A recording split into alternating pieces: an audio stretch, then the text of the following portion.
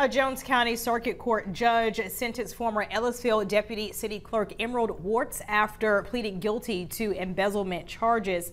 Watts will serve four years in prison as well as two years of probation. The state auditor's office arrested Watts back in September of 2023 for altering water payments and taking more than $41,000. You can read more about this case on WDAM.